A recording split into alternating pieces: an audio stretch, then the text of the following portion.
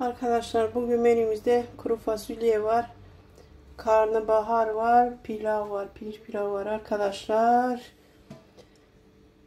Kuru fasulyemizi fasulyemizi önceden ıslattık. Yıkadık. Tencereye aldık. Pişirdik. Yağ soğanını yağını koyduk. Soğanını koyduk. Salçasını ekledik. Karıştırdık arkadaşlar. Kavurduk ekledik fasulyemizi. Fasulyemiz pişti. Tuzunu verdik. Kırmızı pul biberini verdik. Şu an tabakladık arkadaş. Servise aldık arkadaşlar. Şimdi burada karnabaharımızı ne yaptık? Karnabaharımızı yıkadık.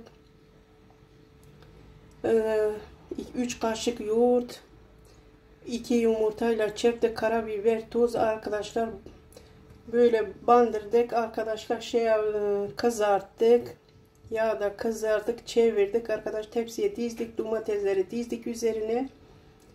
Fırınladık arkadaşlar. Üzerine çıkardık. Kaşar peyniri de verdik. 2 dakika sürdük içeriye fırına. Servise aldık arkadaşlar. Şimdi pilavımızı, pilavımızı, pirincimizi temiz yıkadık. Nişastayı akıttık. Yağımız bir parça yağ sıvı yağ aldık.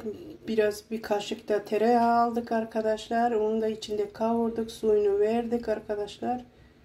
Pilavımız da hazır. Servise arkadaşlar. Beni bana destek olmayı da unutmayın arkadaşlar. Şimdi de teşekkür ederim. Takipçim olun.